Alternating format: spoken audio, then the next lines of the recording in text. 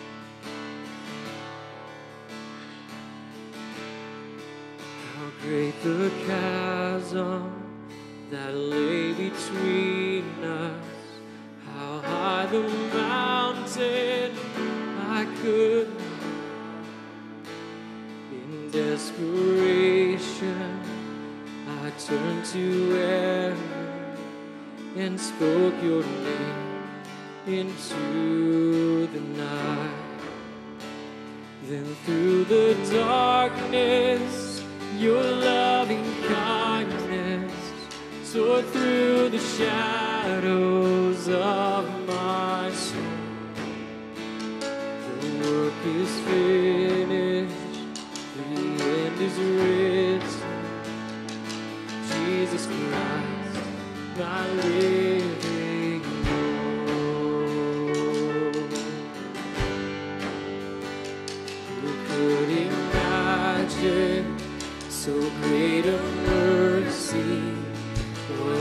could fly.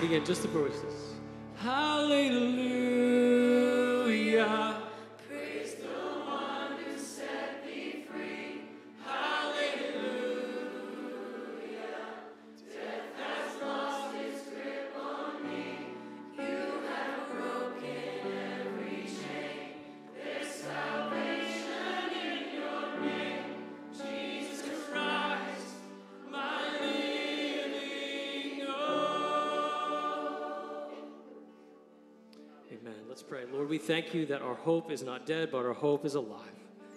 And God, we thank you that our hope is found in you and in you alone.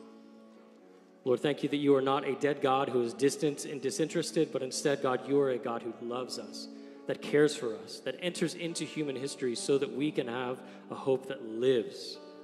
That we don't have to spend our lives chasing hopes that do not satisfy. We don't have to spend our lives chasing hopes that do not matter.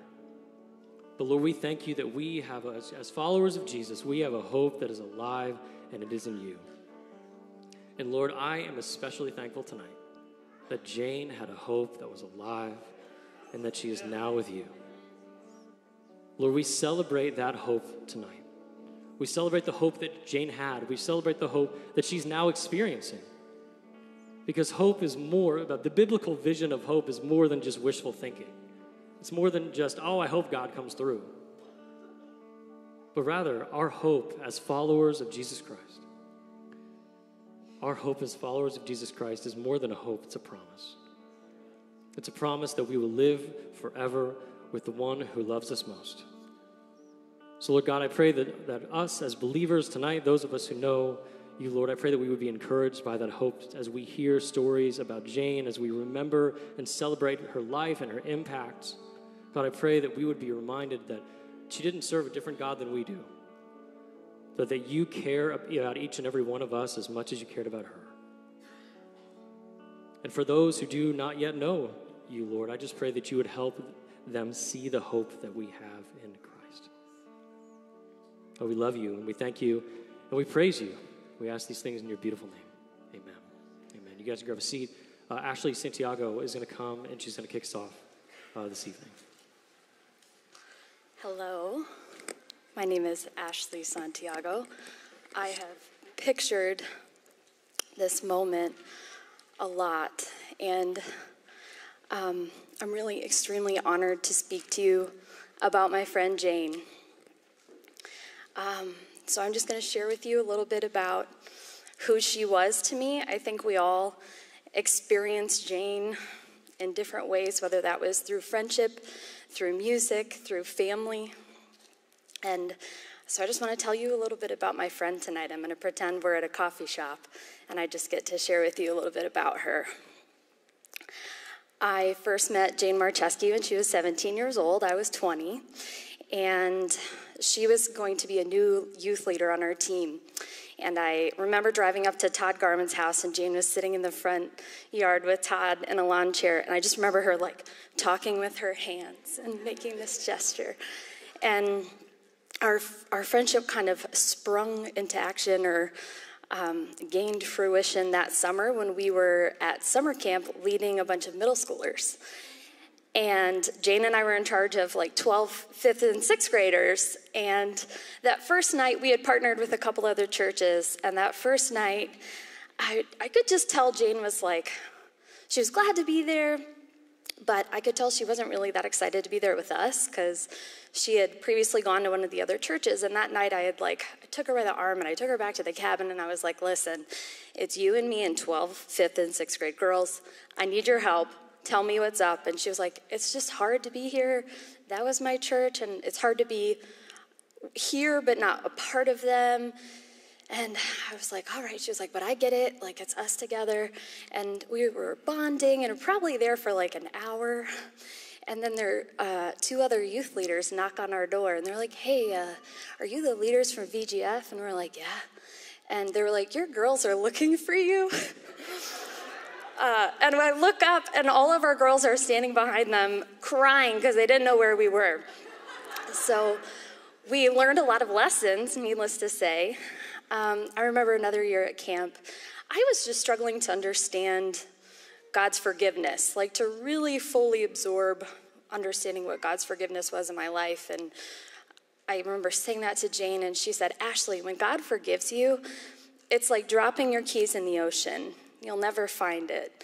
And that's how it is with God. When He looks at you, He just sees Jesus. He doesn't remember your sin, and that's how, like, that's how you can receive His forgiveness. And Jane challenged me to dream big dreams and to face my fears, whether that was through getting my nose pierced, because I hate needles, or going skinny dipping multiple times, or saying out loud that I wanted to get married in 2015, which I did, and to also uh, pranking Pam Lozano by writing Pam cakes in pancakes on her roof.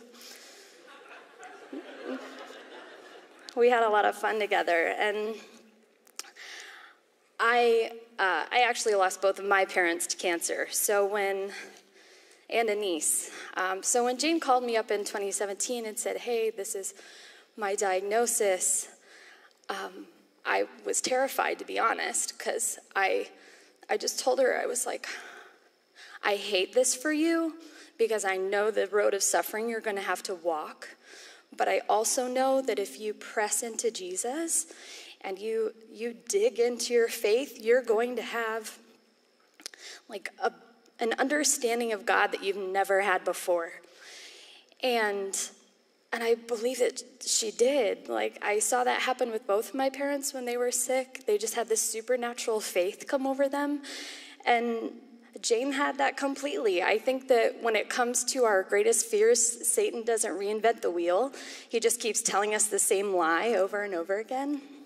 And so after she was um, she had gotten the diagnosis that she had a 2% chance to live three to six months. She had moved out to Southern California where I was, I was living. And I went up to visit her and I said, How are you? How, how are you processing all of this? How are you? And she said, I guess I'm not afraid because I know him and, and I trust him and I'm, I'm not afraid. And she just, I found that through that experience, she ministered to me so much more. I wanted to be there for her and I tried to be there as her friend, but I found so much more through her cancer experience. She ministered to all of us. That's why we're all here. And it's true, you can't know Jane and not know about the love of Jesus. Jane had this hope. She had a hope so otherworldly because it was. And she coined the phrase rebellious hope. And I love that because she was fierce. Jane was fierce. She was a fighter and she was spicy. And I think that she's challenged all of us. She's her story has resonated with so much of us because she was so unique and supernatural in her faith. Every year I get Jane a journal for Christmas. It has to be a specific kind of journal. It can't have any lines in it because her thoughts cannot be contained by lines. It has to be a little sparkly and a little pretty, so it's inspiring. And I had gotten her a journal this year for Christmas, and after she passed, I had gone up to visit, and Sharon let me look at it. And she had written in it four pages in a row Matthew 11, 28 through 30, and I just wanted to share that with you. Come to me, all who are weary and heavy laden, and I will give you rest. Take my yoke upon you and learn from me, for I am gentle and humble in heart, and you will find rest for your souls. For my yoke is easy and my burden is light. Thank you for letting me come share with you about my friend Jane. Andrew. I don't know where Andrew is.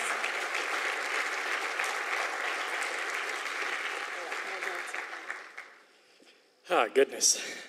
I didn't um, really start getting nervous until like 25 minutes ago, I think, probably 30 minutes ago. Um, there's so much I could talk about Jane, so much I could say about Jane. Um, and I'm sure there's so many stories out there that I don't even know about um, of Jane. Um, she, um, I, I miss her. Uh, I loved her so much. Um, I'm just going to tell um, a couple stories and, and, and just some, characteristics about her. A lot of bonding time with me and Jane was done over road trips. Um, we did two trips across America. We drove um, to a couple national parks, California. Um, specifically, um, there's one I remember that was probably 12, 13 years ago. Um, she was um, she she was going to, off to college, and my mom and I and Jane and her boyfriend at the time got in a car and we drove from Ohio to Virginia, and we got a hotel room, and um, Jane. We, we had decided to hang out at the pool, so we, we started playing charades, and um, Jane thought it was a good idea to act out Pocahontas by diving into a five foot swimming pool. And she, um, she left a gash on, right in her forehead because she smacked her face on the bottom of the pool. And she was so upset that her first day at college, all the people that she was going to meet, that she was going to have this gash on her forehead. And it's funny, I was, I was literally talking to Abby Rodriguez uh, this morning, who's going to uh, talk in a few minutes. And, and I didn't bring up this story, and she said, Yeah, actually, the first day I met Jane, she had this big gash on her forehead. um, there's so many, there's so much about Jane I could talk about. Um, so much I could, I could continue to tell. Um, she was a very public person. She was very good um, in front of people. She was good at connecting with people, uh, with a crowd in a very genuine way. Um, but she was also very caring, compassionate in a, in a private and personal way um, that people didn't see. And she wasn't showy about it, and she didn't draw attention to herself. Um, when I, um, when she was first starting, when she first moved out to California and I was with her, she was first starting to, the treatments were starting to take good effect. She was starting to feel really uh, a lot better. Um, she was starting to drive, drive places. She, she had met people at the clinic she was at, um, people who had also had cancer and were going through similar things as she was. And as soon as she was like starting to feel good, she was, she was driving to people's houses, helping people get groceries, helping them get them stuff for their apartment. Um, she, and I didn't realize she was, she was doing this for probably two or three weeks before I even realized it. She was just leaving the house, going, going back and forth um, just, just helping people out.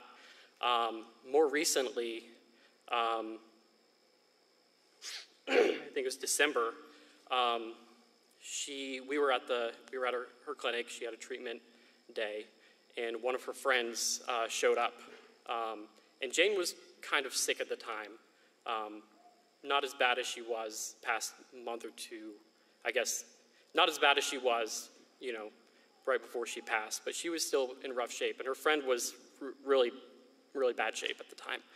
And and Jane Jane told me we have to we can't let her drive herself herself home. She's she's in pain. She's in really rough shape. We have to take her home. And to my shame, I I wasn't like super excited about the idea. I was thinking, well, Jane is sick. You know, I'm, we're not doing so well ourselves. Let I was trying to figure out another way to help her, and Jane's like, no way, we have to, we have to take her home. So we, we brought her home. Um, she, she stayed over the night. We took her, um, we took her to the ER the next morning, um, and um, she was in really rough shape. I thought I wouldn't see her again, but um, today she's actually responding really well to treatments. Um, and I can't say this for sure, but maybe, maybe Jane saved her life by, by bringing her in uh, that night. Um, it was a really caring and compassionate thing to do, a self-sacrificial thing to do. And Jane is, Jane is pretty sick herself, and she wants to take somebody else in. Um, another thing about Jane that you all know, she, she was a fighter. So she gets this prognosis from her doctor January 2020, and she doesn't, um, she doesn't accept it. She, she decides I'm gonna, I'm gonna, she was, she had so many ideas. She was gonna go to Mexico to some, um, you know, illegal clinic. She was, she was at all these ideas of what she was gonna, you know, gonna do. But she found this doctor in California, and, and uh, my brother Mitch flew out with her, and she started treatments. Um, and um, her, her doctor in, in Tennessee had given her three, three to six months. Um, and here we are, you know, two years later, and she was, she was fighting up to the very end. Um, the day she passed, um, literally, um, this, this poem on the back of this, this brochure, I'd never read this before today. Um, but it's, it's like, it's, it's so true. Like, especially the second, second section. I want to die while my heart is still a greenhouse for hope, all my wild dreams as seedlings and egg cartons reaching toward the window. Um, the day Jane passed away, she, could, she couldn't walk and she could, she could barely talk, but she was sitting up in her bed and she was doing vocal exercises. She was doing scales. She was saying, How now, brown cow. She was doing all sorts of, sorts of things to, to get her voice back. And she was telling my mom, I can't wait until I can, I can get out of bed and walk over to the piano and play the piano again. Um, so she was fighting up to the very end. Um, and that's, that's really, um, it just, it's just a witness to the, her fighting spirit and it's really an inspiration. Um, 2 Corinthians 4 8, uh, the Apostle Paul um, talks about his suffering, that he was afflicted on every side, but not crushed, um, perplexed, but not in despair. And I think, um, I think that describes Jane, especially the, the second line, perplexed, but not in despair. Um, she had a lot of complaints, not to people, not to other people, but she, she complained to God in her prayers. She, she said, you know, you've read her blog. She didn't, she didn't know why she was suffering. She was perplexed by it. She was baffled. She didn't understand what was going on. But she wasn't driven to despair. She still held forth a hope um, that even though she didn't understand, um, that she had hope in God and she, she um, had faith in his purposes and in his goodness. Um, and I think that's something to learn from. Um, and I've been thinking, how does, how does somebody in the face of suffering, in the, safe, in the face of um, pain, um, afflictions of every afflictions of every kind, you know, physical, psychological, relational, um, afflictions of every kind, but not be crushed by them. Um, it's uh, what what it what has to be true about a person in order for them to to have that sort of hope, um, and that that sort of faith. And I've been thinking about Hebrews 11:6 that that in order to please God, um, it's impossible to please God without faith because in order to please God and draw near to God, you must believe that He exists and that He rewards those who, um, who diligently seek Him. Um, so you have two propositions. You have to believe that God is real, you have to believe that He's the creator of the universe. Um, that, he, that he is who he says he is, but you also have to believe something about his character. You have to believe that he's good, um, you have to believe that if you come to Him, He's not going to kick you while you're down, but He's actually going to lift you up. Um, and in order to have, how do, you, how do you, sometimes when you're suffering, it's easier. It's easier to believe that God exists than it is to believe that he's, he's good. Sometimes it's really hard to believe that God is good when you're really suffering and you're not hearing an answer to your prayers, the type of answers you want to hear. Um, so, so so, how do you believe that God is good? Um, and I heard a sermon day after Jane died. It was just a small part of the sermon. It wasn't the main point of the sermon, but the, the, the verse that was quoted was Romans 5 8. Um, and by this, God demonstrates his love for us, that while we were yet sinners, Christ died for us. We have present tense and past tense. God presently, right now, in the moment, ongoing, demonstrates his love for us by the fact that while we were yet sinners, Christ died for us, past tense. So we have a past tense, concrete action of, of, of Christ's death for us, God, God giving his son for us, that demonstrates um, from now into, into eternity his love for us. And, and because of that love, we can draw near um, we can believe that when we draw near to God, that He's not going to kick us when, when we're down, and He's not going to. Um, he's, he's, he's not, we, we say, I'm sorry, and he says, Yeah, you should be sorry. He's not, he's not going to have that sort of attitude. He's going to welcome you in. Um, so, um, my, my goal was not to ramble. Um, I cut some stories. I want to be short.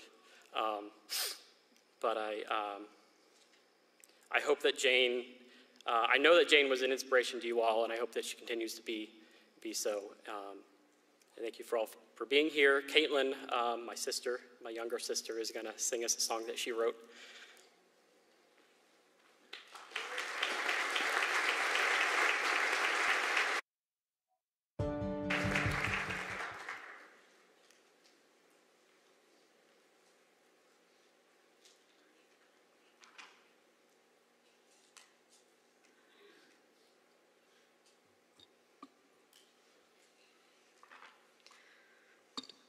Yeah, for those of you who have never met me before, my name is Caitlin. I am Jane's younger sister. Um, when my family asked me if I wanted to share, I I've been having a hard time articulating into words the way that I'm feeling. Um, you know, how can you articulate into words who Jane was and and what she meant to us? And um, so I was like, okay, well, I'm gonna ask, I'm gonna ask God to help me write a song. And the next morning, He did. And so, um, yeah, here's my song.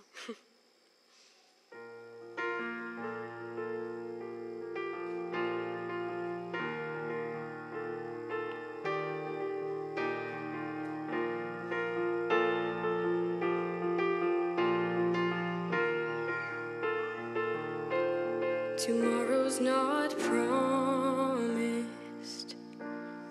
Nothing was made to last except for God's word, which will always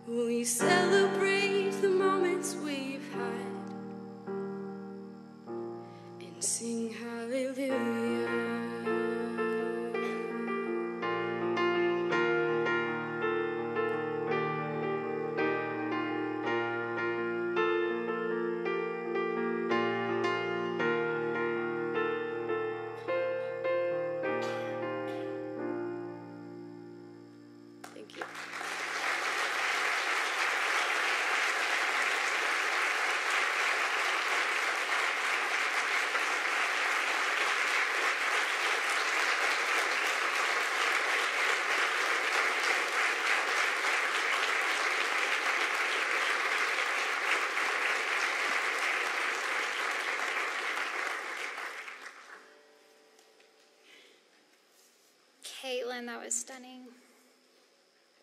Jane would love that. Um, I'm Celeste.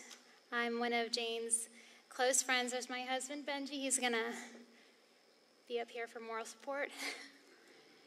um, Jane and I met in 2016 after our husbands became close friends. We became family, sequoias humming the same melodies, sharing the same roots.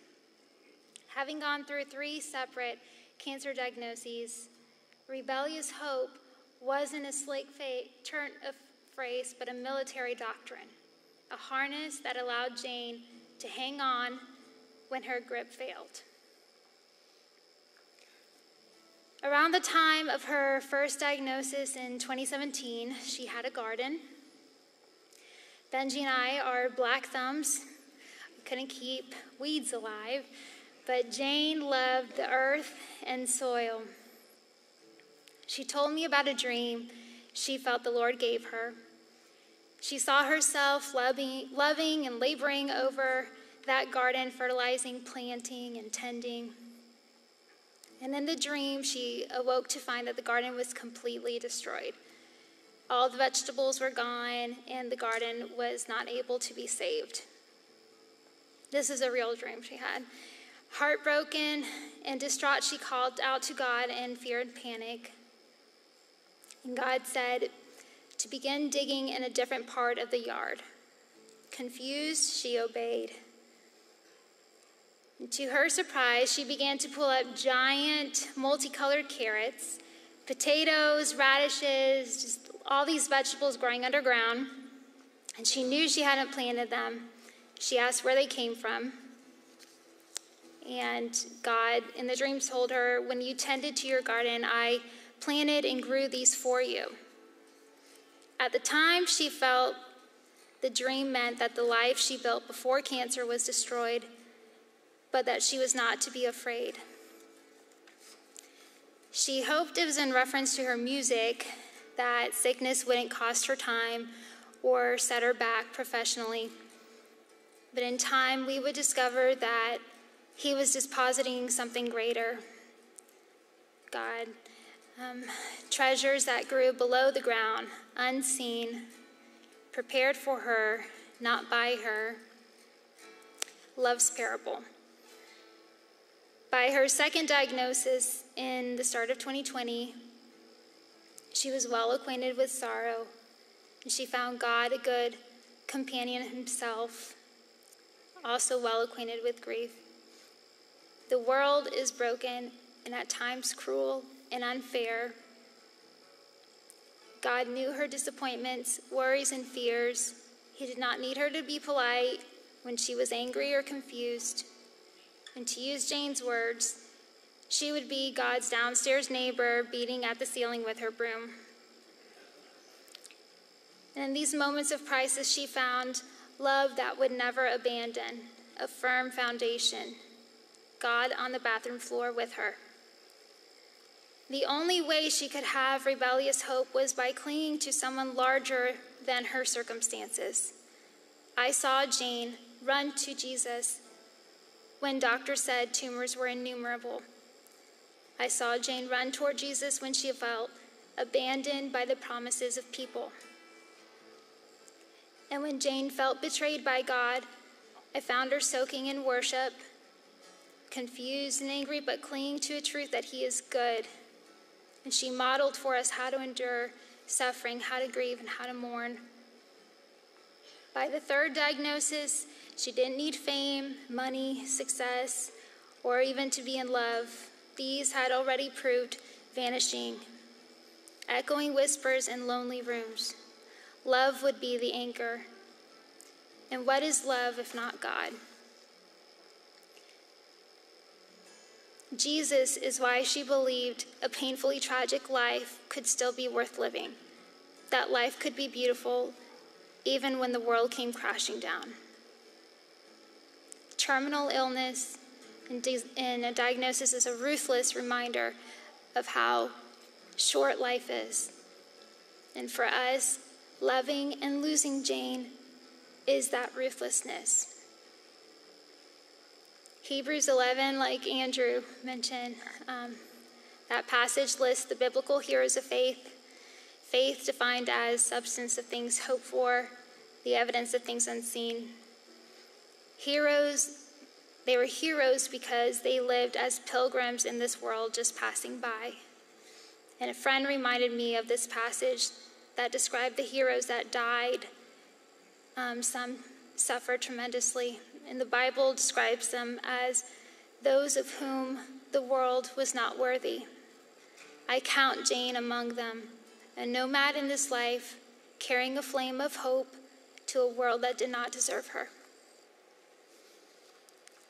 Thank you.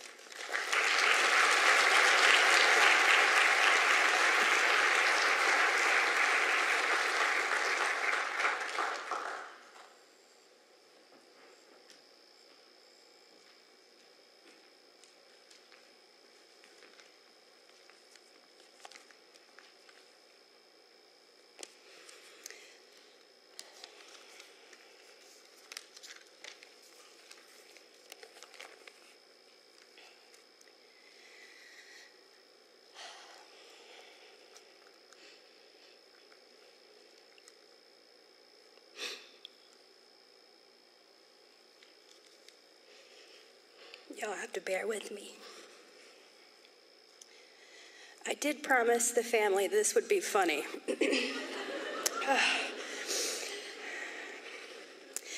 My name is Abby, and I had the most beautiful privilege of being Jane's best friend for the last 14 years.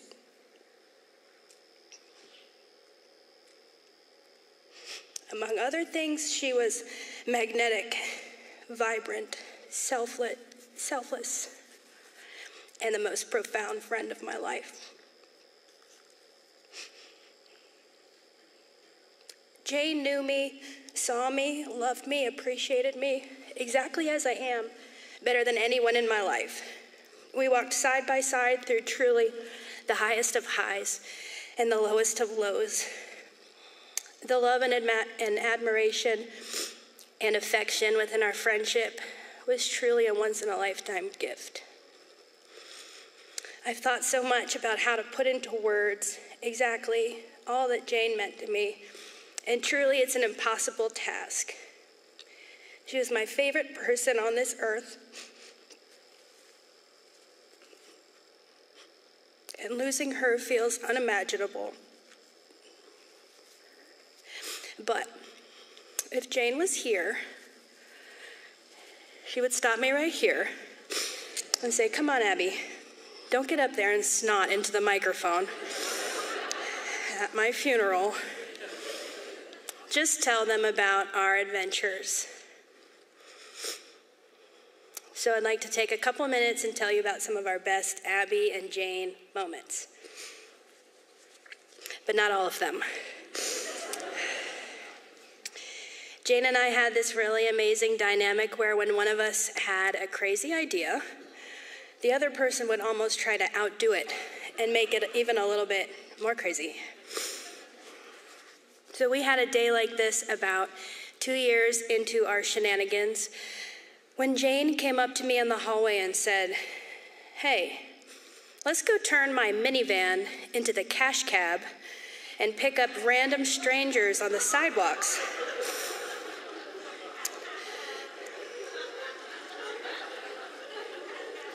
Of course, I said, yeah, and let's get strobe lights and shine flashes into their, their flashlights into their faces. to which, of course, Jane responded, yeah, and I'm going to drive so fast, they're going to fear for their lives. so, to those people that we picked up that day, you're welcome. I hope you enjoyed that as much as we did. Over the next couple of years, our adventures included being questioned by the police after ignoring a huge no bridge jumping sign on a highway, sneaking in and out of a major Nashville hotel for an entire summer to use their pool like a season's pass and jumping on a moving train at midnight, which is, might I add, the only time I've ever run faster than Jane. because if you've ever met Jane, you know she was fearless, and nothing in this life was going to get her in her way and allow her to not have the best life adventure she could. She never backed down from a dare or a silly suggestion that someone might throw her way. Whether that was picking up a large dead buzzard off the highway to put on someone's porch, or testing to see if her college minivan really could go 100 miles an hour on the highway. It did. In between all of our Jane and Abby adventures, there was a mutual appreciation, respect, and love between us. Whenever we needed each other, we were always there and invested in what was truly important to each other. I am privileged to work with a senior living community as an activities director Nash, in Nashville. Jane would often be, find, be found helping me with our proms, our field trips, our special days with these senior residents in Nashville where we lived. She knew their names, spent time learning their stories, and bringing her beautiful light to them regularly. I'll never forget the day after Jane shaved her head for the first time after chemo started taking its effect. She had committed to come that day to a special prom at my community so I called her a few hours earlier and I said, Hey, if you don't feel like coming, I totally understand. She said, Oh, of course I'll be there. I'll never forget the moment watching Jane walk through the doors of that senior community with a beautiful bald head that I had never seen, with the biggest, most beautiful smile and glow on her face. Because even in the midst of Jane's personal battles, she never failed to show up for people she loved and to continue blessing us with who she was. I believe that many people search for joy and contentment, and other people somehow just create it. Jane was one of those people. On some of my dark days, I would call Jane, and she would almost ask me, she would almost always ask me the same question. She'd say, Abby, how is your heart? This last summer, I think she was very intentional when she asked me to do something I'd always said I'll never do. She convinced me to get matching tattoos on our arms. So she drew a tiny heart on my arm, and I drew one on hers. These last couple weeks, as I've looked down and seen that reminder of her lasting presence, both emotionally and physically now, I can't help but hear her ask me, Abby, how is your heart? I have wanted more than anything to look her face to face and tell her how much my heart is breaking since she left this earth. But instead, I'm asking God to relay that message to Jane. So, God, please tell Jane, thank you for being the best friend I ever had, and I miss you. As many of you witnessed through Jane's social media pages, she loved planning and announcing all the victories that came within her cancer journey. Most of the time, Jane loved to do that in true Jane style with confetti.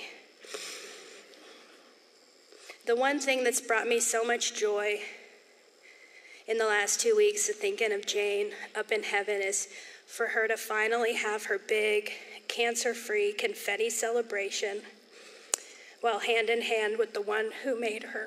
Thank you.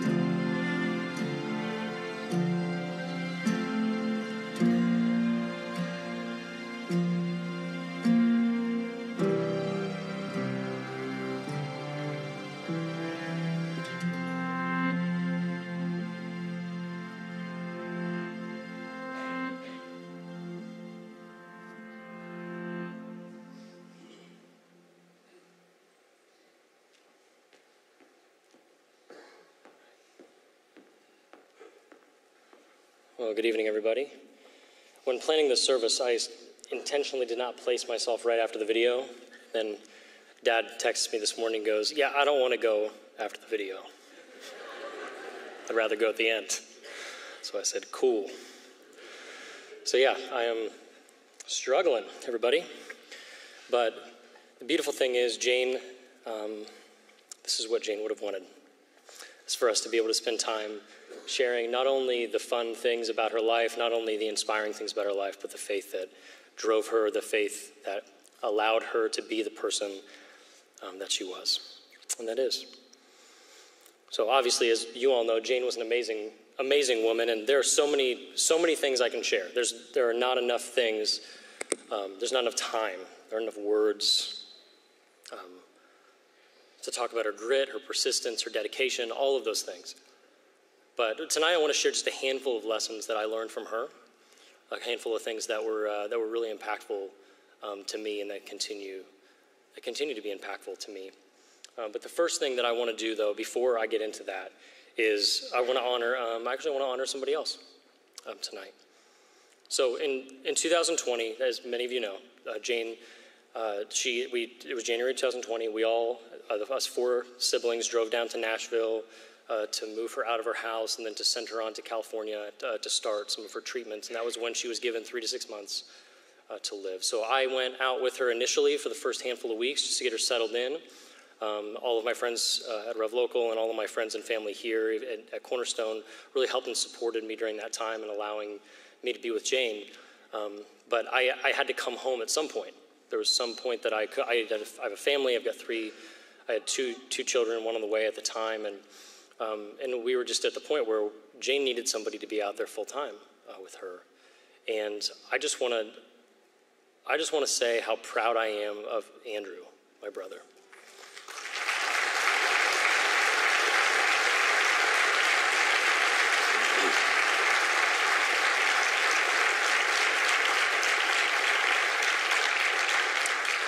Without, without Andrew, I, we, I truly don't know where Jane would be.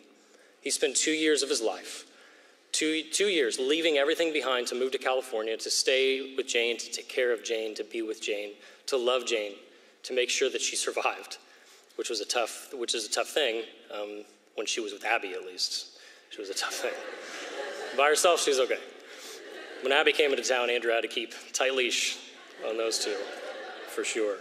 But Andrew, I think, is somebody, the, the, reason, the only reason I bring this up is because if any of you know Andrew, Andrew is not the type of person that would trumpet that from the rooftops. He's the type of person that serves selflessly and humbly. He's the type of person that would do it because he knows it's the right thing to do. And I want to make sure that we honor, even honor him in this because he spent a, major, a, a good chunk of his life taking care of Jane and he's going to need our prayers and our support even moving forward. So I love him, care about him, really thankful for his impact in Jane's life and even the lessons of perseverance and grit that I've even learned from him. So just want to acknowledge Andrew and tell him thanks. Thanks for doing that. So Jane's impact in my life, honestly, it can't be overstated. There aren't enough words to talk about it. There aren't enough stories to tell. There aren't enough things for me to to even come up with for us for me to be able to do that. But there were a couple things that, I, that of lessons that I learned, things that I brought that she brought to me that were helpful. Um, so if any of you know me in any way, shape, or form, you, you will know that I tend to avoid conflict. I'm an avoider by nature. Typically, I'm kind of like, you know what, like we can probably find an amicable solution to this. We can talk about it a little bit and kind of make it work. I mean, as, any, as my friends at RevLocal know, like it's not a great way to build a team and grow a career by just being nice to everybody always and giving them everything they want at all moments. Um, so it was one of those things that I've, it is a growth point for me, something that I've been thinking about and uh, for a while. And so we're, I'm, at, I'm at the house with Jane and I'm just like kind of walking through the room and she just like out of nowhere, she goes, Mitch, you'd be way more successful if you would just let somebody dislike you. And I was like, I was like, oh, interesting. I didn't know it was unsolicited advice day. So if that's the case, I would really love for you to let me go get my list, bring it in here, and be able to share a little bit of that with you this fine Wednesday. But so we were, so we were, we were kind of talking about it and we are joking because she was right she's like, I would be a much more successful person if I would like allow somebody to dislike me at some point. And so we were joking, and I was like, you know what, you should write a children's book. Like this would be like, you, this is something you should do, you know. And, and I said, you, well, you know, what do you think you should call it? And she goes, just like this, like because it's Jane. She just has it all planned out apparently. She goes, let someone dislike you and see how far you'll go. very, very Dr. Seuss sort of ring to it. So I was like, all right, all right, all right, I'll give you that. I said, who do you want to illustrate it? Again, boom, she goes, Banksy. And I was like, this is the most self aware book that's ever been thought of in any sort of existence. Like, so on the nose. But Jane was like consistently, like, she just, I think she knew me better than I knew myself in a lot of ways. And Jane was like my best friend for like my entire life. And we were just joined at the hip. I'm, I'm older than her by 22 months ish, and we just would do everything together. We would, everything from driving to school together, driving to practice together, anything from taking Andrew when he was very young and sticking him on top of the Little Tikes Playhouse roof and then just leaving him there. like we came back inside and mom was like, Where's Andrew? We're like, Ah, he's on the roof. We came in to get something to drink. But Jane, Jane was one of those people that she always had the right thing to say when, when she needed to say it. And she knew how to do it in such a way, with me at least. She did it with me because we were close enough that she could just be a jerk and I would be like, okay. But the, like, I'm going to miss those things. I'm going to miss those little insights that she had into my life because she was, she was detached from it enough by being in California that she could look into it and she could give me really, really good advice. But another element of Jane's life that I learned, that I learned something from and continue to learn uh, from her, and it's, it's something that's been shared consistently over even this evening, is that Jane was a very generous person. And she wasn't just generous with her money, but she was generous with her time. She was generous with her emotional energy. She was generous with the people that she spent her time with. And she was generous with her money. Like throughout all of her life, she was always giving, always serving, always wanting to help those who were in need. So whether it was it was kids in the, in the Gar, on Garfield Avenue in Lynchburg, just having block parties and having the kids come in and being able to take care of them and help them, or whether it was her taking time out of her life to go over on Thursday nights to the Davidson County Jail in Nashville and sit and read the Bible and pray with people that were in prison. Like Jane was consistently giving, and she was consistently looking for ways to bless other people. And she, there was just this others mindset that she had because she understood that that came because Christ had given all that, that he had for her. So, how much more should she give all that she has for others? So when Jane, you know, thinks about her money and she thought about the way that her time worked and all those sorts of things, she saw it as a gift to be given, not as something to be hoarded and kept. She was always approaching it that way. And so over the summer, when we when she and I were, you know, we were sitting on the roof at the at the the Airbnb in San Clemente where we were we were sitting on the roof just talking and I like I loved sitting with her and just just trying to get her to dream. Like I just wanted to know what was in her head. I was like, "Where are you going to live? What do you like? What kind of car are you going to drive? Are you to have two houses? Or are you to have three houses? You just have one big house? Like, what do you what are you going to do next?" And she was always be like, "Okay, I'm to release this album next year, and then I'm going to buy a house in 12 South in Nashville, and really close to Celeste because I love Celeste. And it's a great it's a great neighborhood." And she was always dreaming, always thinking. And so we were talking a lot about the, all the GoFundMe money that she had uh, kind of accumulated over the last couple of years because people were very generous towards Jane in her healthcare journey, where insurance wouldn't carry, cover treatments, and she really was up against a wall financially. A lot of people came to the table and really gave. So I was asking Jane, I was like, what do you think we should do, you know, with all of that, that cash? Because we didn't feel like it was right for us to keep, especially when she got better. Like that was the thought. I was like, okay, when you get better, what are we going to do? And so we, we were having that conversation, and that was when the idea of the Nightbirde Foundation came to, to be, where we would take all of that leftover money and we would create a nonprofit foundation to be able to help those people that were like Jane, that were artists that couldn't afford health insurance, there were, there were artists that couldn't make it um, on their own. Because Jane had actually been part of uh, a couple of those grant programs where she was the direct recipient of people's generosity towards her. So when she and I were talking about that, that was really where the seed was planted. And then when she passed, like, I couldn't help but remember that conversation of like, what would Jane want to do with the money that she had left over? And we and so we we've decided to set up this Nightbirde Foundation to be able to carry her legacy forward for people that have uh, breast cancer. And, and, and really, it's because of the generosity that she continued to have throughout her entire life that compels even us now to want to continue that generosity forward. So I'm not, this is not a sales pitch. I'm not telling you to, you know, donate or whatever, uh, but if you want to, it's in the back of your program. It says Nightbirde Foundation.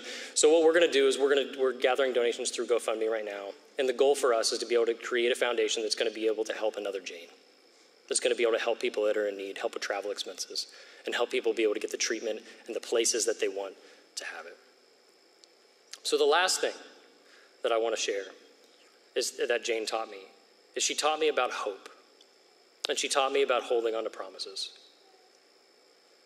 And as many of you know, I mean, if you don't know by now, I don't know if you've been listening, but Jane's faith was a very large portion of her life. It was a big piece of who she was. So, in the midst of her journey, like she consistently relied on her faith to drive her. She consistently relied on her faith to be the thing that gave her the hope that she had. And Andrew alerted to it earlier like, it's really easy to sing and to worship and to trust God when things are going like really well. It's a very difficult thing to do that when you get that cancer diagnosis, when you're struggling to breathe, when you constantly feel horrible, when you don't know whether you're going to see your nieces and nephews at Christmas time. It's a lot harder to trust in the Lord then. And it's a lot harder to have hope when you're up against a wall. But what Jane had was greater than wishful thinking. And what Jane had was more than just this mysterious, intangible light that sort of exists in her, in her being. Like Jane had a hope. She had a hope that was beyond this world. She had a hope that no matter what the outcome was going to be, whether she lived another 65 years or whether she died last week or two weeks ago, the outcome was going to be good because she knew the promise that the Lord had given her that she was going to be restored that she was going to be able to be with him forever. And you know? It's not just something that we think about on, our, on death's door. Like that drove every decision that Jane made.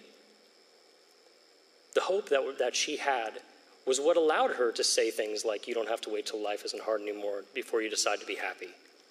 It's the thing that constantly drove her to be the positive inspiration that all of us saw on television. But it wasn't just because Jane pulled herself up by her bootstraps. And it wasn't just because Jane had this innate ability to willpower her way through. And it wasn't just because she was super strong, which she was. She's the strongest woman I've ever met, strongest person I've ever met. All of those things are true about Jane. But they weren't true about Jane because she was Jane. They were true about Jane because, she had, because Jane had a hope in Jesus. Jane's hope wasn't just being famous, it wasn't just money, it wasn't just notoriety, it wasn't any of those things. It was the fact that she was going to be with her Savior forever. So, those of us in the room that are followers of Jesus, we can be encouraged by that hope in our circumstances. And I think that's what Jane would want us to hear today. Is that we don't simply have to pull ourselves up by our bootstraps. We don't simply have to work harder, do better, be gooder. We don't have to do any of those things but rather we can rely on the hope that God has never, ever, ever been unfaithful, and He's not going to start today with you. And for those of, of, of you that don't believe in Jesus, that don't have that relationship, that don't rely on Him as a hope, like I really hope and I hope and I pray that today you would see the light that was inside Jane was Christ. And that you have that same access to that hope through Jesus as well. You don't have to fight. You don't have to work. You don't have to do any of those things to find salvation and meaning and satisfaction. You can find it in Him. Because at the end of the day, there are a lot of hopeless people out there. There's a lot of hopeless people in this room watching on the live stream. But the good news today is that you don't have to remain hopeless. You don't have to remain hopeless. You don't have to wonder what's going to happen when you die. You're not going to have to wonder what's going to happen with your life because Jesus Christ died on that cross for our sins while we were still sinners. He did it before we, he, before we did anything. He saw it fit to forgive us. And we have access to that forgiveness today. So today, as Todd's gonna, or my dad's to come up next, just, just let's just let that roll over in our minds for like the remainder of the night, of the fact that the hopeless people in the world have the ability to find hope. And Jane was a perfect picture of what finding that hope looked like. Thank you.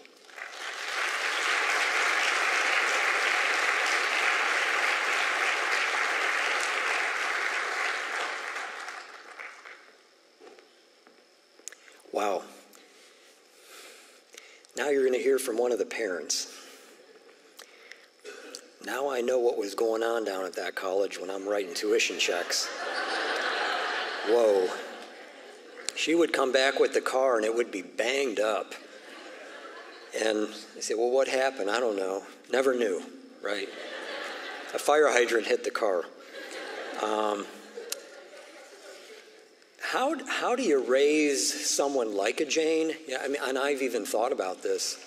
Um, she was challenging to raise, to be, to be very frank with you. I'm not going to say, yeah, like no problem. You know, we just read bedtime stories and the rest is history. Um, I think when I look back, because we're the same temperament, we're both the type A, hard drivers, work long hours, super duper persistent, don't take no for an answer. When you get two people like that in a home, sometimes it doesn't always work out. So as I look back, I kind of let her raise herself in a way, and I just kind of kept the guardrail, I just widened the guardrails. So when she would get to where she was really getting ready to go off the rails, I would step in. Um, get her around good friends, good people, so important. The parties were always at my house. I'm telling you, I buy everything. Everybody comes over here. Get to know the friends, get to interact with them. And she had great friends. I loved all her friends. She enjoyed bringing her friends home from college. And um, one time she, I mean, I, I didn't think anything of it. I, you know, sit down and talk, you know, what do you want to do? What, you know, how, how's things going and stuff. And she would mention to me weeks later, she says, Boy, I just loved it when you'd sit around the table and talk with my friends. Didn't know that, but it was important to her. Um, you know, and this is no credit to us necessarily, but I'm, I, I, she had three interviews on CNN, and I'm finding myself literally taking notes. No kidding pausing it, writing it down, pausing it, writing it down. And I was amazed myself that kind of wisdom and perception and profound ways of looking at things, I never saw that around the house. But the right environment, never saw it, never heard it. Honest to goodness. But God has a way of just arranging circumstances to bring that out in some other forum. And um, I'm never going to forget. You can't wait until life isn't hard anymore until you decide to be happy. Change my life. As parents, we're creating things that are lasting a lifetime, beyond our lifetime. You get to choose what that is, you get to shape what that is, but it's going to last beyond your lifetime. And you're never done parenting your children. Even now. Like Mitch is 32. We've got the fourth grandchild on the way. I don't really consider that I'm done parenting. I mean, it's different. It's not the same kind of parenting, but I'm, I'm very aware that if I mess up, I'm that bird at the front of the triangle, that all that whole flock of birds could go down. So I'm not messing up. I made up my mind, not going to happen. It's a big responsibility, parents and grandparents. They're still watching you. They're still watching you. When you saw some of those earlier pictures, kind of the nickname that I gave Jane when she was um, growing up, it says, Janie, you got a million dollar smile. And that just kind of stuck. And when I would see her, even when I saw her in San Clemente, you know, an hour before I knew she was even going to pass away, I said, You still have that million dollar smile. And she did. I'd like to say how important all of you are in all of this. Not just in this room, but people actually around the world. I mean, I get emails from the Philippines, from Australia, from Africa, just all over the place. All kinds of testimonies. People that were going to give up until they watched the video. It popped up on the YouTube. It's okay. and they decided not to give up. Things that simple. I asked Jane a few weeks ago, I said, I know you get a lot of these as well as I do. Um, it, I get stuff at my, it's like kind of like when you're a kid. Santa Claus, North Pole, all they write is Nightbirde, Zanesville, Ohio. It, it goes to the mayor's office, Zanesville mayor. So call me up, says, Mitch, I got a couple more packages. You to be there? Sure. But every one of you guys are really important because she would, she would not have made it to that show if it wasn't for the, the specialized treatments that she was getting at the uh, Center for New Medicine in Irvine, California. She wouldn't have made it. And those things are expensive. And it's cash only, and the insurance doesn't pay for it, and the Social Security doesn't pay for it. But you guys, I think God makes it that way on purpose so that you get to play a part in her blessing on everybody. Because without your prayers, without your encouragement, without your $5, $10, $20, we would not have had the money to, to walk into that clinic and write a check. She, she, I was convinced she was within days of passing away. I mean, I've never been around dying people to be able to compare, so I've never been in a hospital setting, and, I'm, and those who have certainly would know these things.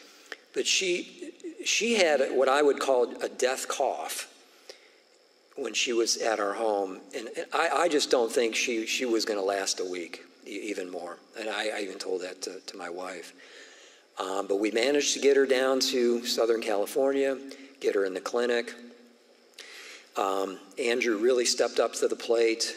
Um, we have a, me and Andrew have this little thing going. It's just between me and him. Nobody else gets to participate in this. He's a three star general in my army now. He's a lieutenant general. When he went down there, I made him a brigadier general, one star. The Lord gave me this idea. Then she was becoming, she needed just more care, like 24 hours a day. He was a software developer, so he could do his work anywhere in the world. But he couldn't even concentrate on his work, so he resigned his job. Didn't ask me, didn't tell anybody. And when, I, when that got back to me, I said, Andrew, I'm promoting you to a major general. That's a two star general. And so when he was flying back, I made him a three star general when he was on that plane. This is just a thing between me and him. That's the kind of respect that I have for him. But Jane would not have made it without you guys helping.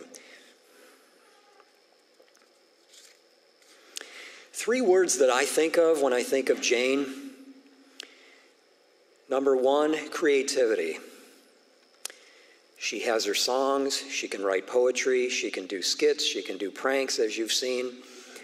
Whoa. Um, just, just immense creativity, just oozing out of her. The second thing is energy. Absolute energizer bunny all the time. Just an amazing amount of energy that she had. And the third thing is what we call in, in the Polish language, it's called zuchwałość. The, the Hebrew word is chutzpah. The English word is audacity. She had audacity.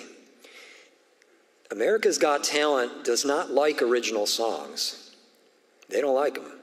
They don't do well. They tried to talk her out of doing that original song. They wanted something like Annie of Tomorrow or something from a, a Broadway show, things that people would recognize and hum along to just in case your voice wasn't all that great. At least there was something redeeming about that person's performance. But she absolutely insisted that she wanted to do It's Okay.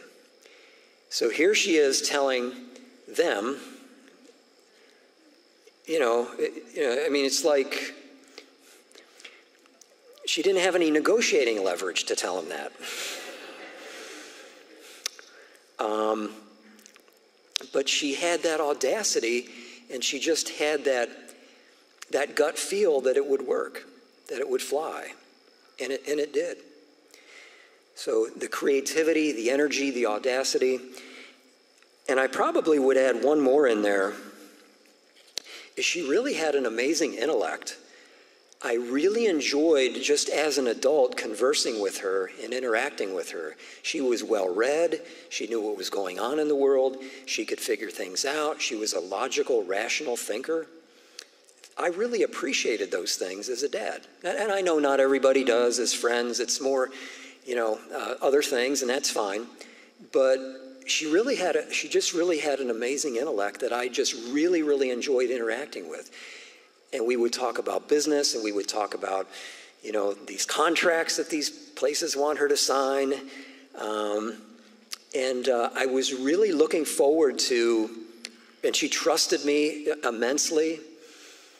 And I was really looking forward to working with her in the years to come.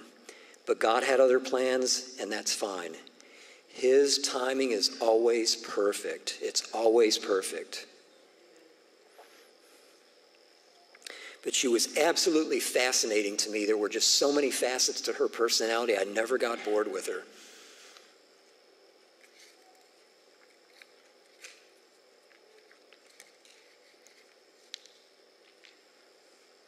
Couple of funny stories, and then I'll close. Um, well, this one's not really a funny story. I'll close on the funny story. But back to, I, I was very proud of her before, way before she went on America's Got Talent. Just so super proud of her. If she never went on there, she's my girl with the million dollar smile, always will be.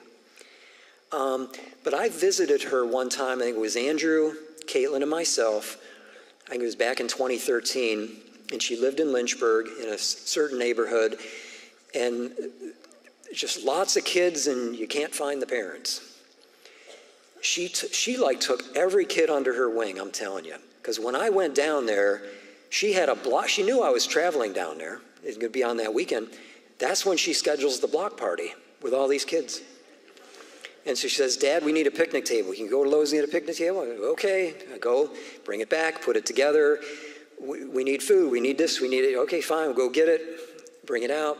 There were kids anywhere, just, just filled in the house and she would do Bible studies with the kids. She would um, she would call me on the phone. She said, and I forget the names now, but this one 12 year old gave his heart to the Lord, and she said, Dad, I'd like to give him a Bible with his name on it. Can you get one? I said, You bet. So I'd order a Bible with the name on it, send it down there. I'd send cases of Bibles down to her. I said, Anything you need to minister to those kids, you tell me. We'll get her down there to you. But she was always just all the time doing those kinds of things. And I was so in love with her in, in, in, in, a, in a sense. I was just so proud of her when I went down there and she was just doing all that. And then I said, Well, I want to go to your church. Let's go to your church. She says, Great. So we get in the car and says, Well, we got to pick up somebody. We pick up like four kids on the way to church. Yeah. And we're there early and she's out on the playground playing with them, going up and down the slide and everything else. I was just so proud of her at that moment of how she shared her faith and shared her energies with other people. Um, she got one girl dressed up for her first job interview, got her a dress, got her made up. She might have been 15 or something like that. Kid, kid, kids in those neighborhoods end up working at young ages. Um, and just, it, it just was, it was just such a blessing, just such a blessing. Um, so, kind of the one funny story, it's kind of funny but a little bit serious. She, she walked across the stage at Liberty University in 2013 to get her degree, but she did not fulfill all the requirements. And all she had to do, she did an internship at a church, and all she had to do was get the signature of the pastor, and you're done. That's it. Let's get a signature. So I'm wanting this degree to come in so I can frame it and put it on the wall. So I'm saying, Jane, when are you going to do? I'll get around to it. It was over, it was like a year and a half, and she was not getting around to it. I was getting concerned here. Um, I paid for some of that. So I told Sharon, I said, I mean, and she and Jane was just on to other things. I don't need the degree. What she told me. That's oh, all you need is one signature. Yeah, but I don't need it. Like I said, you raise them and you put the guardrail out here and one out here, and you just try to keep them in there if you, if you can. So I, so I, I told Sharon, I said, Sharon, I says, give her a call. I says, I'm coming down this weekend. I'm driving down there, and I'm going to pick her up, put her in the car. We're driving that church. And I says, there is a chance that I might be in jail for a domestic violence, but I'm willing to flip the coin on it.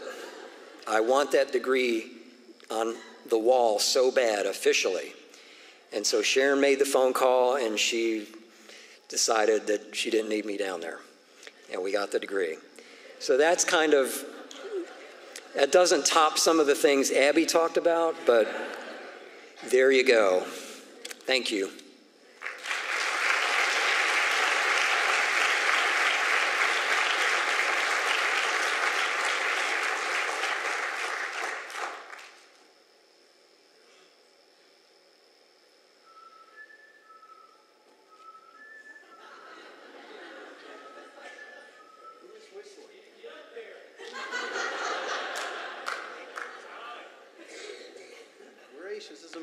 impatient funeral crowd I've ever been a part of.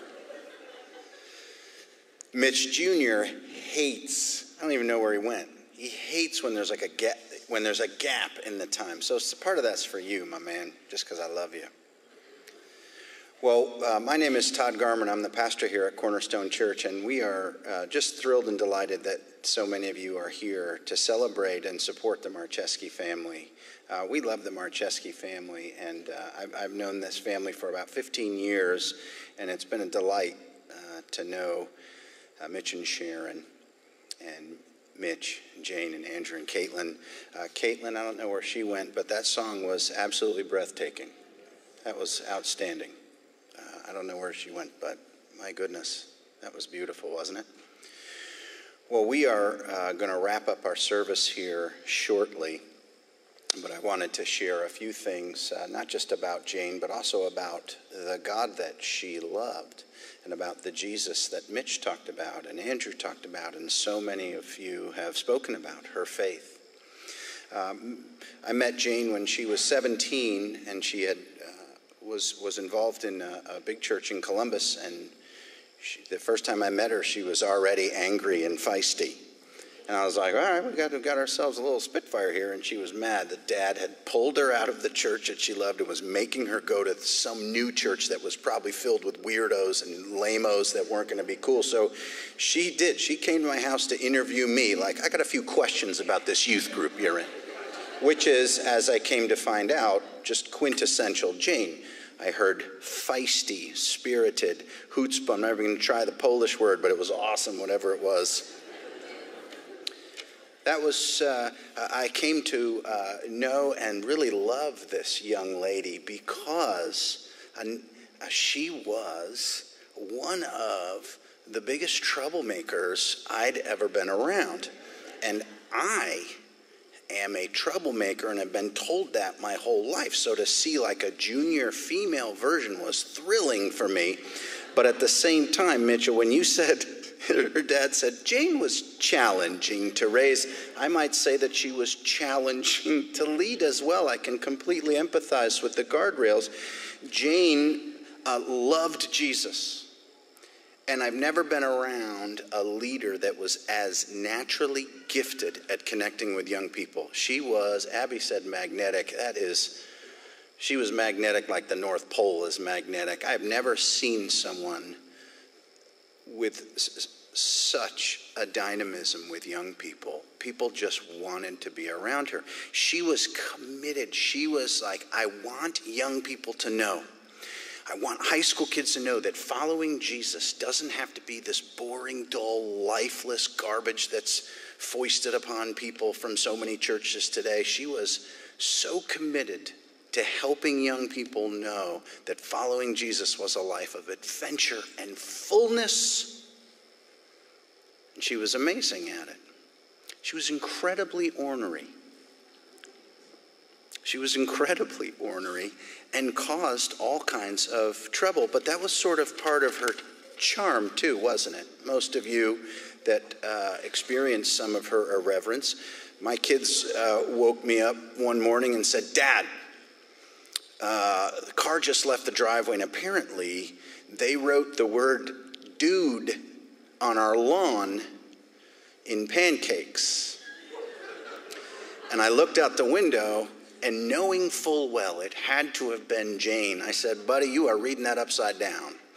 Jane wrote that, and I guarantee you she wrote the word poop on our lawn.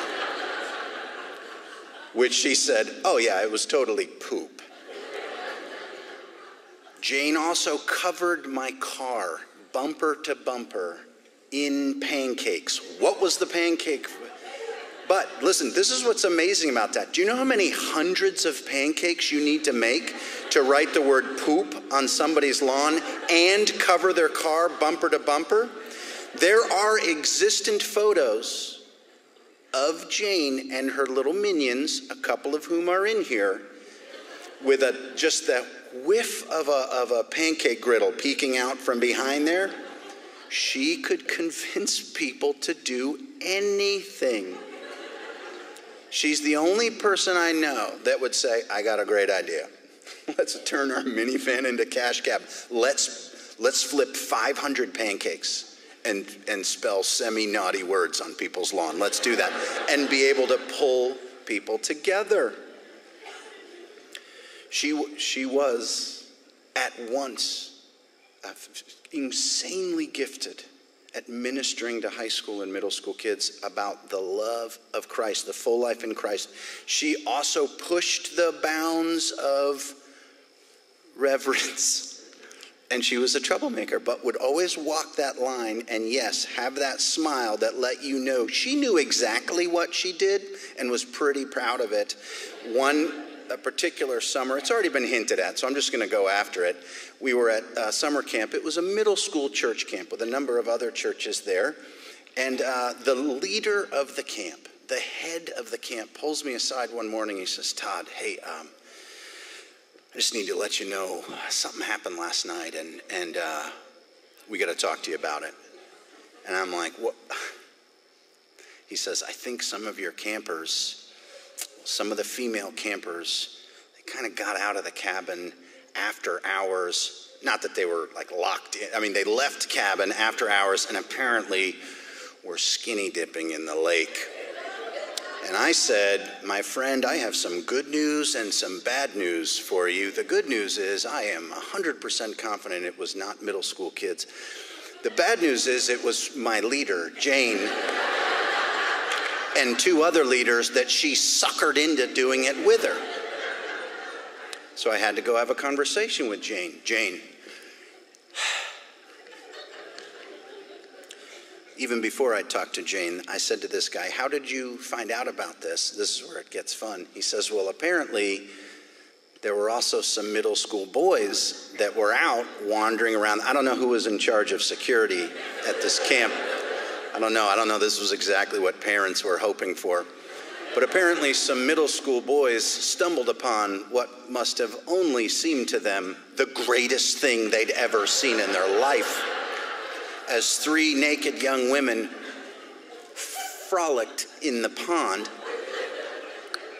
And because their little nuclear hormones, they couldn't wait 20 seconds before telling everyone in their cabin, too, we saw some girls, they were naked saw some middle school girls.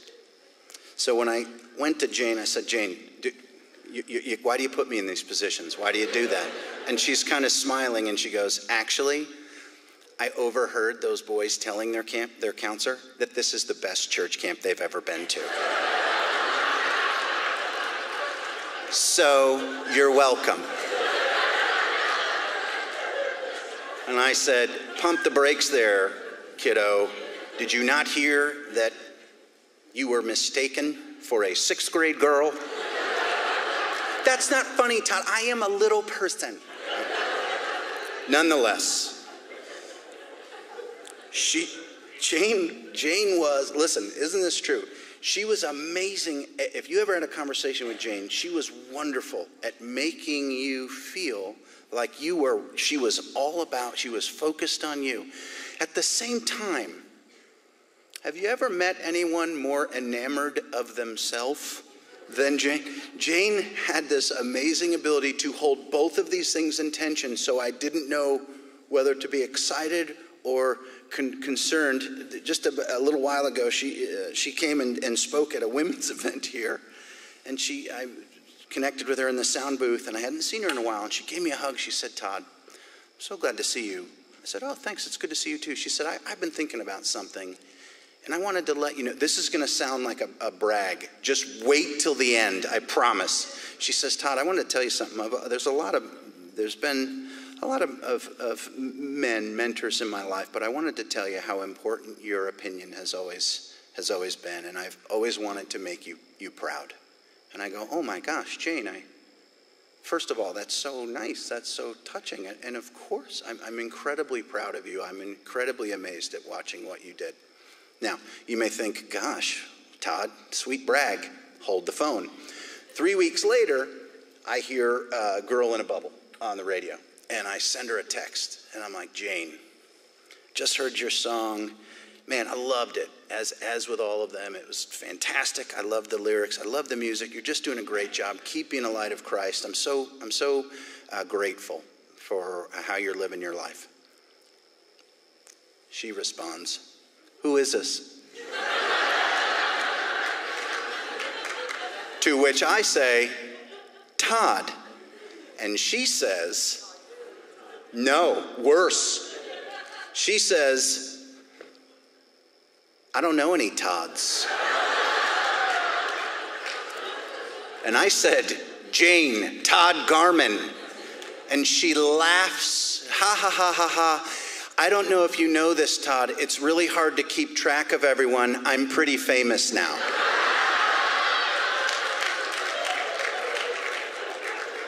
Do you see the tension?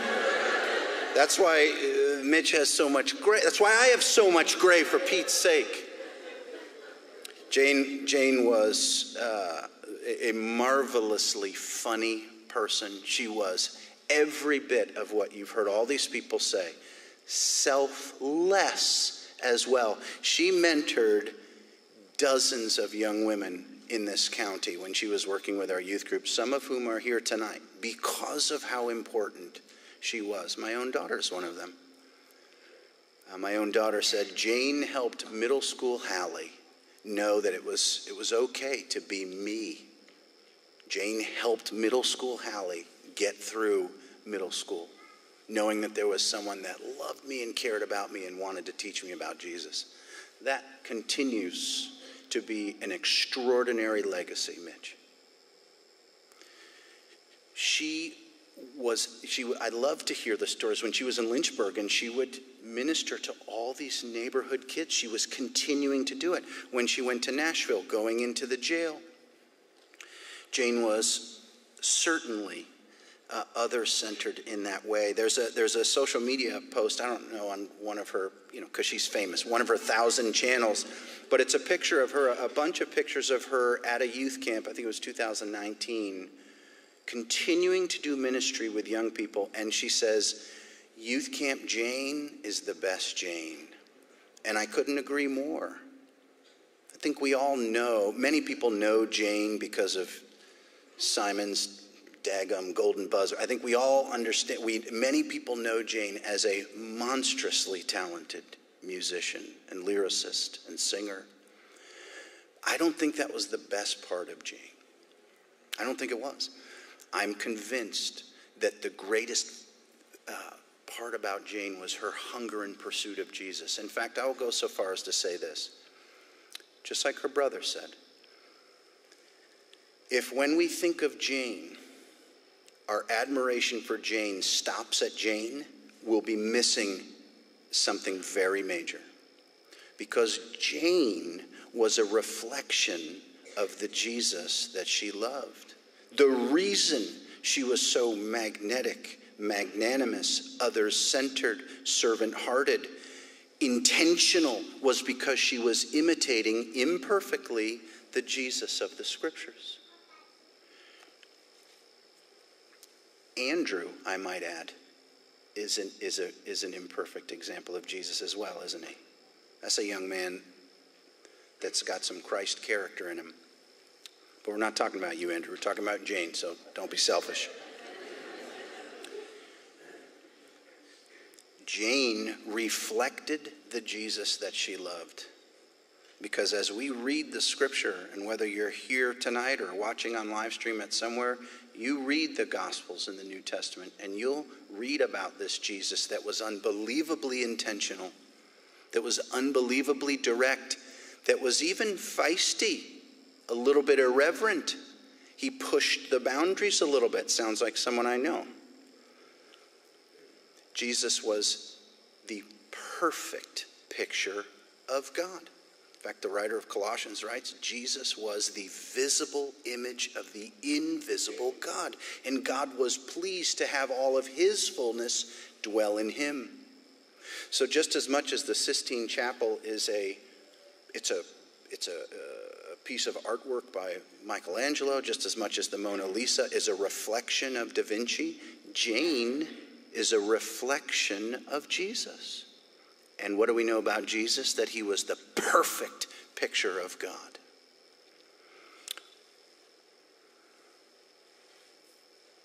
In the Gospel of John, Jesus uh, himself says this.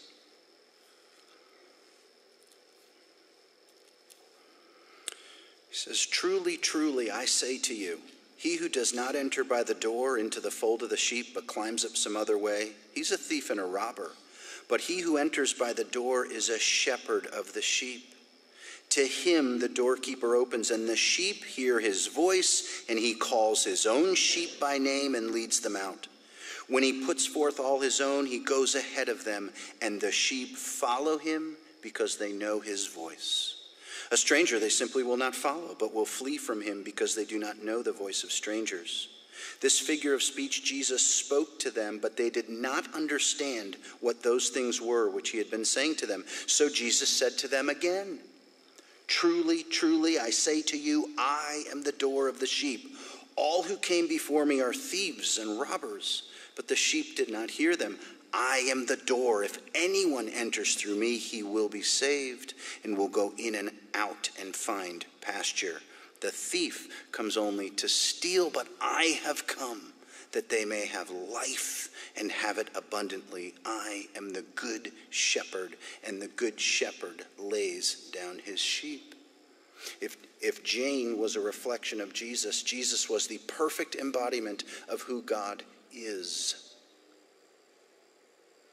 Jesus offered an invitation to all that would hear him and listen to him. And his invitation was, Come unto me.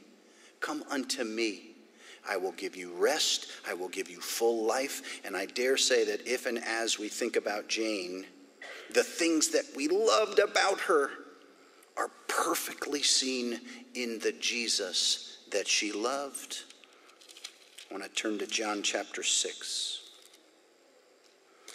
some promises that Jesus said to any that would recognize, yes, I do have a sin problem and I need Jesus. This is what he promises. John 6:35 Jesus said to them, "I am the bread of life. He who comes to me will not hunger, and he who believes in me will never thirst. But I said to you that you have seen me and yet do not believe. All that the Father gives me will come to me, and the one who comes to me I will certainly not cast out. For I have come down from heaven not to do my own will, but the will of him who sent me. This is the will of him who sent me, that of all he has given me, I lose nothing, but raise it up on the last day. For this is the will of my Father, that everyone who beholds the Son and believes in him will have eternal life, and I myself will raise him up on the last day. That is the hope that Mitch was talking about. Not a wispy, ethereal, positive thinking, but a certainty and assurance that this Jesus that Jane loved will, in fact, raise her up on the last day such that she can live and die with peace and with hope and with joy and with strength and leave a legacy behind that continues to point people to Jesus my daughter, who I was talking about before, who loved Jane and was loved well by Jane. I'm so grateful for Jane uh, and her influence in Hallie's life. Hallie just got back from a spring break trip where she was down uh, with a church group, and there was a young lady on that trip who was sort of accidentally on the trip, wasn't really part of the church or the church group. And, uh, but throughout the course of the week, came to put her faith in Christ and even was baptized uh, down in the ocean down there in Destin, and it was a marvelous uh, activity. And she said to Hallie, Hallie, are you really flying back to Ohio to be at this funeral for your friend? And Hallie said, Yes, and let me tell you about Jane. And she shared about Jane and how influential and impactful and what a mentor she was and a role model she was. And when she looked over, this young lady started, was crying. And Hallie said, Why are you crying? And this young lady says, I feel like I'm benefiting from what Jane was in your life. Isn't that marvelous? That Jane's legacy continues. And someone breathed into her as well. This is why, if you are listening, if you're here, if you're listening on live stream, may I urge you the God of the heavens is real, and He calls to you, and He says, Come unto me.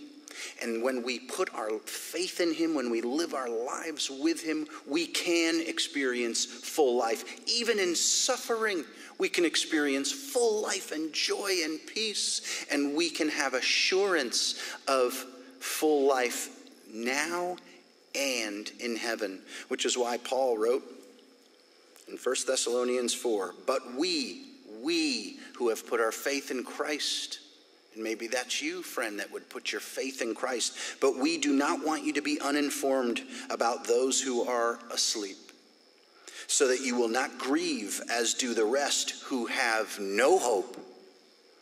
For if we believe that Jesus died and rose again, even so God will bring with him those who have fallen asleep in Jesus. For this we say to you by the word of the Lord, that we who are alive and remain until the coming of the Lord will not precede those who have fallen asleep. For the Lord himself will descend from heaven with a shout, with the voice of the archangel, with the trumpet of God, and the dead in Christ will rise. First, then we who are alive and remain will be caught up together with them in the clouds to meet the Lord in the air, and so we shall always be with the Lord. Therefore, comfort one another with these words.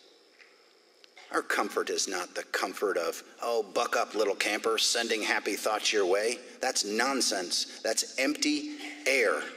But we comfort one another with these words that Jane put her faith and trust in Christ and we believe Christ when he says, I will come again. We believe the words of the scripture that says he will come again and raise those who are asleep, and then those who are alive will join him as well, and we will be with the Lord forever.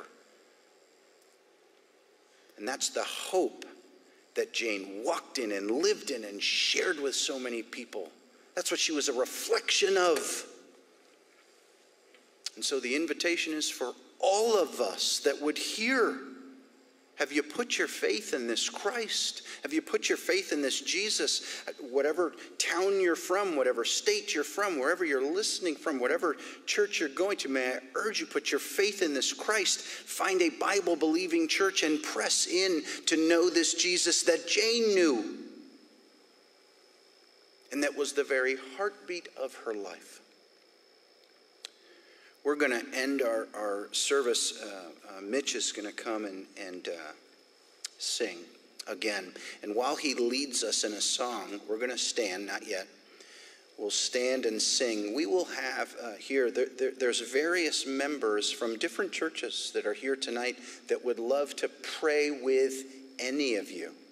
Any of you that have prayer requests or prayer needs. It can be about anything. We can honor Jane by honoring the one that she loved. There will be people stationed uh, in, in front, perhaps around the corner. If you have a prayer need about anything, we would welcome you to come forward and receive prayer. If you have never received this Jesus, if you've kept God at arm's length, perhaps you've used to follow God but turned hard left, do you not hear what we're celebrating in this young lady? Do you not hear what we're celebrating? That full life is found in Christ. You're here because you love Jane. I promise you the things you loved about Jane are in their fullness in Christ. Would you receive him? Would you give your life to him? We would love to pray with you as you do that. Let me pray, and then Mitch is going to lead us in a song. Heavenly Father, we do thank you for our dear sister, Jane. And I thank you that she was ornery. She was a pain in the rear end sometimes, or as her sister in law put it, she could just be a pill. It's true. I thank you, God, that you make feisty young women that are fierce and challenging and passionate and committed and ministry minded and others centered and just a little bit ornery.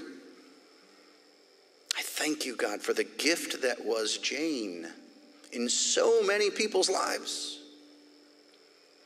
And I thank you most of all that Jane is a reflection of your son, Jesus, and that Jesus continues to beckon us into relationship with him.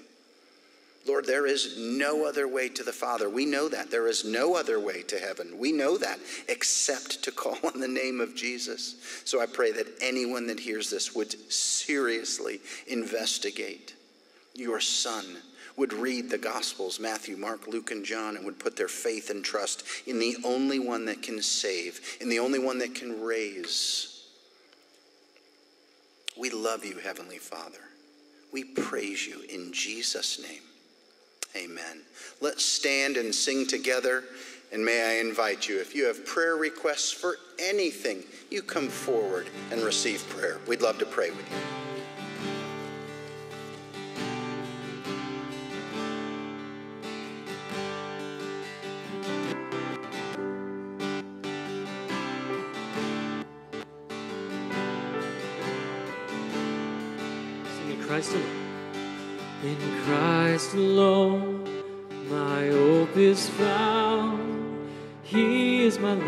My strength, my song. This cornerstone, this solid ground, firm through the fiercest drought and storm. What heights of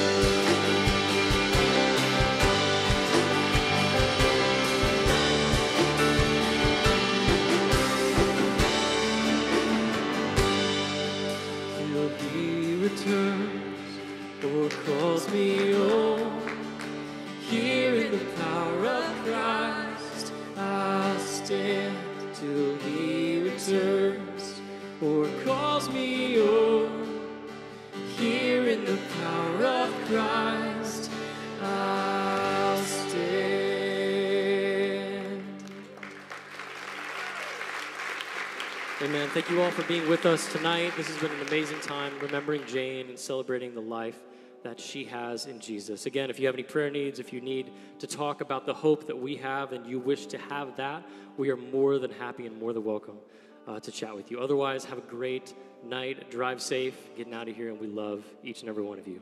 Thanks so much.